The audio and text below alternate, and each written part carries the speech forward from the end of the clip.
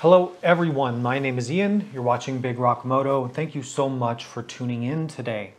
So today I've got something quite a bit different from what I normally do. So many of you reach out to me all the time, you know, asking about what motorcycle to get or what motorcycle has a low seat height or what should I be looking at or you're doing your research. Um, the other thing that happens when you're researching motorcycles is that, and let me know if this sounds familiar, you're trying to look up the specs for a motorcycle, but there's no consistent database to look these things up. So you might find a news article that someone did on a press intro review and it has some specs, but it doesn't have what you want. And then what if you want to compare that to another bike? So let's say, for example, um, which has a shorter seat height, a Aprilia Tuareg 660 or a BMW F850 GS? I don't know. So there's really no easy way to find that. So what I have done is I've compiled all the important relevant specifications for all the brand new adventure and dual sport motorcycles currently on sale in the USA. Now, a couple things. I'm in the USA, so if there's models that we don't get here, I just don't have that on the list, and I'm sorry about that.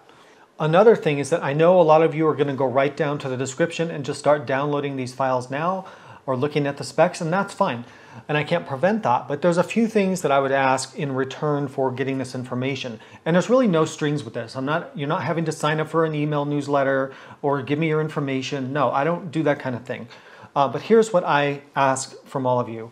If you find this useful, um, support Big Rock Moto in whatever way you can, whether that's becoming a Patreon, whether that's buying some merchandise, most importantly and most easily, shop at Revzilla and shop at Rocky Mountain using my links in my video descriptions and on my YouTube homepage.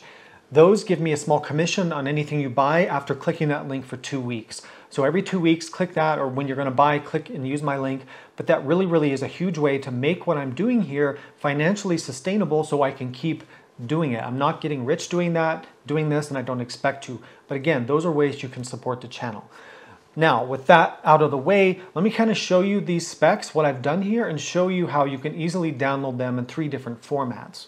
So here are the specs up here on the screen. I know they're kind of small. I'm not expecting you to really read that in detail, but there's a few things I want to point out. So I've got it organized here uh, by the class of bike. So I've got uh, bikes classified either as a dual sport bike, a full size adventure bike, a mid-size adventure bike, or a small adventure bike. So that's also useful so you can see how these bikes are classified. And that's my own kind of system that I made up, but I, I believe in it. I think it's pretty accurate.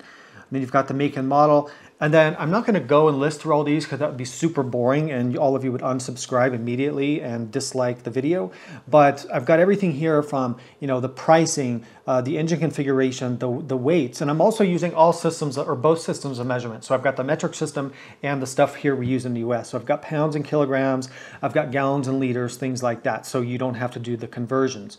I've got ground clearance, suspension travel, seat height, fuel capacity, uh, estimated mileage, estimated range, horsepower, power to weight ratio, which is a calculation here, suspension rake angle, wheelbase, uh, the wheel sizes, all this stuff is here for you. Now, I plan to update this probably either once per year or maybe twice per year and I will redo the files so that these links will still be valid in this video description. So if you're watching this video um, later on. I'm filming this in January of 2022. If you're watching this later, hopefully these links will still be good. I'll keep them updated if I update the files. So please let me know if this is useful, if something else might be useful, give me ideas for future videos, for future kind of tools like this. I really appreciate it. I am working on a website, but it just hasn't been a huge priority in terms of building this business, but that will be coming in 2022, so I'm doing that. Again, please don't use this for any commercial purposes. If you do, uh, I don't know what to say. You're just a bad person if you do that, um, but I can't really prevent it. Uh, but otherwise, like I said, support the channel, support what I'm doing here by all the ways I talked about, which are in the description below. Otherwise, I hope this is useful. Please ride safe, and we'll see you out there.